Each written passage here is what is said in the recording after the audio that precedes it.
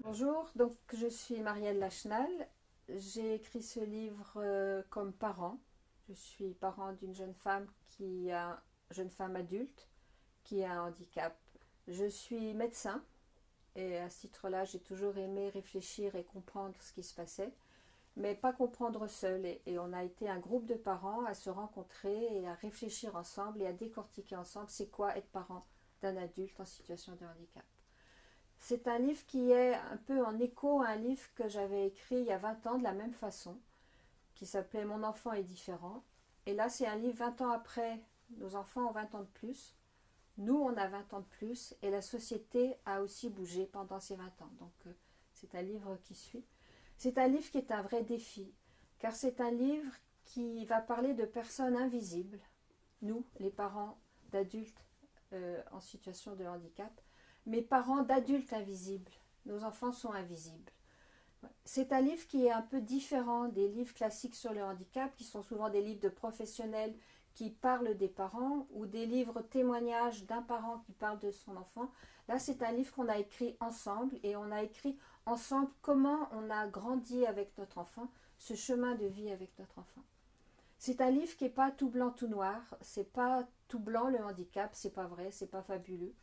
Et puis c'est pas tout noir, c'est pas l'horreur. C'est un livre où on a parlé de notre amour pour notre enfant, on a parlé de notre colère, on a parlé de notre tristesse, on a parlé des fois de notre épuisement, de notre solitude, mais on a parlé aussi de toute l'amitié, on a parlé de tous ces liens tissés autour de lui, on a parlé un petit peu du bonheur qu'on a de vivre avec lui qui est différent du confort. Des fois les gens confondent.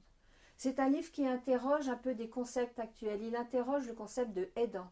Aidant, c'est un mot qui, qui, est un mot, euh, le gouvernement a même une stratégie nationale pour les aidants.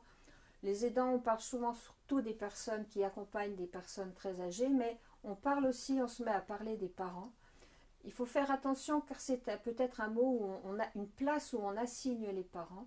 C'est une place aussi qui fait penser que le lien parent-enfant en situation de handicap n'est que vertical, alors que c'est un lien humain, donc fait de réciprocité.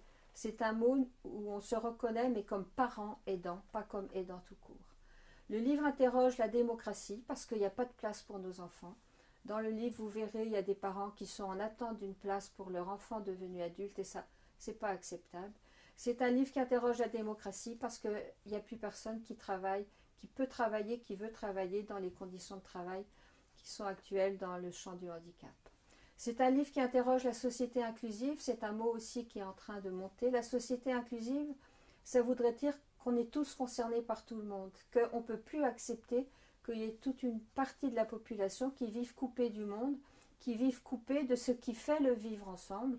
Ça peut être euh, les loisirs, ça peut être toute la vie ensemble. Et qui peut lire ce livre? Eh bien, bien sûr les familles qui ont un adulte euh, en situation de handicap, on espère nos familles, nos amis, pour qu'elles comprennent mieux un petit peu euh, ce qui se passe chez nous et, le besoin qu'on a d'être entourés. Ça concerne aussi bien sûr les professionnels. On espère qu'ils liront le livre pour que le lien avec eux soit plus facile et qu'il y ait peut-être moins de jugement. Il concerne aussi les politiques, puisque c'est eux qui prennent les décisions qui vont concerner la vie de nos enfants et par ricochet la nôtre. Et il concerne tout le monde, toute la société, parce qu'on ne peut plus se priver de se, vivre ensemble avec nos enfants et avec nous.